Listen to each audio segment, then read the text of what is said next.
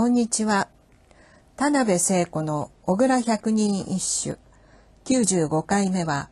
49番大中富の慶喜の歌です。こちらを2回に分けてお送りします。三垣森、絵地の宅日の夜は燃え、昼は消えつつ、物をこそ思え。三垣森、絵地の宅日の夜は燃え、昼は消えつつ、物をこそ思え。宮中の御門を守る絵面が、警備のかがり火を夜な夜な焚く。あの日のように、私の思いは夜になると燃え盛り、昼は火が消えるように、心も消え入るばかり。あの人への恋に焦がれて。王朝の宮中の夜は暗くなるにつれ、そこかしこでたかれるかがり火から始まる。楽しいことも、心浮きことも、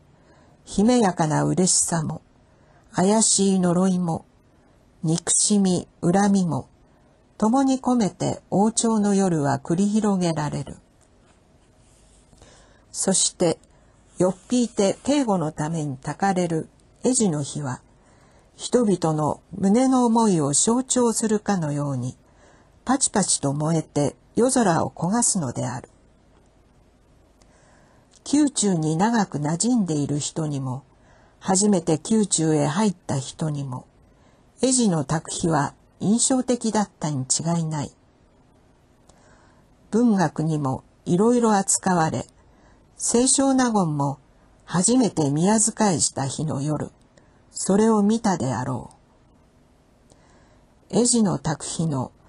夜景の詰め所のようなところを、ひたき屋というが、清少納言は初めての夜の明くる日も中宮に召し出され、中宮亭主は明朗でユーモア好きの聡明な方だったので、清少納言の飾り気ない活発な精神を一目で見抜かれ、いっぺんにお好きになられて、二人はめでたい友情を互いに抱き合ったのである。期待と不安と嬉しさに夢見心地で高級の牢を急ぐ。それは雪の日であった。雪が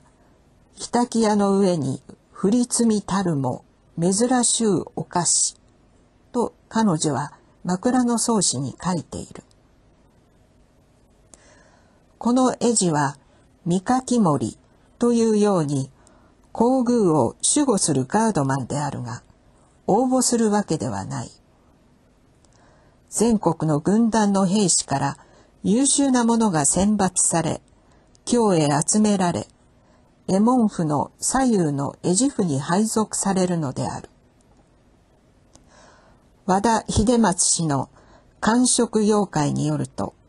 3年間宿営を命じられたとあるから、三年交代であったのだろうか。工事の雑役、宮殿の清掃などという仕事もあったが、一番の重要な任務は、もちろん皇宮警護である。絵地は職務上、代理の庭にも出入りするので、あるいは不思議なものを見聞きし、また自身もその主人公となったかもしれない。今日はここでおしまいにいたします。ありがとうございました。